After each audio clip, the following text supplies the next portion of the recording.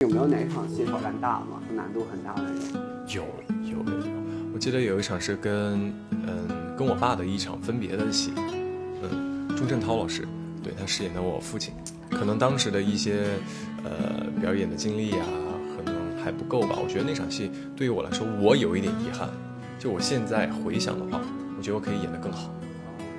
是那个情感表达方面吗？还是那个那个？对对对对，太紧张了那个时候，老想着把它演好，因为那场是重场戏嘛。当我最后去配音的时候，我发现那一场好像效果没有想象中的这么好。嗯，反而如果是放松的把自己融到当下的那个情境里面的话，可能会更好。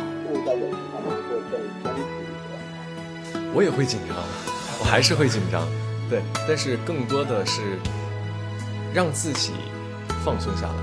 就是当你觉得很紧张的时候，要提醒自己说：“哦，要放下来，要放下来，放松。所以说明就是感觉到不一样的境界。不，境界这个词太危险。我觉得都会不断的进步嘛，不管从事各行各业，我觉得都是不断的在进步的。